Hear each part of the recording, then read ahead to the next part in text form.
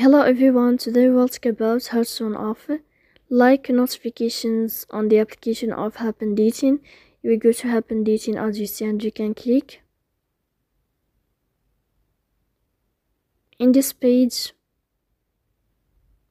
you will wait a moment and you can go to this window of profile. Here in this page, you can go to this sign of settings. After that, you can go to notifications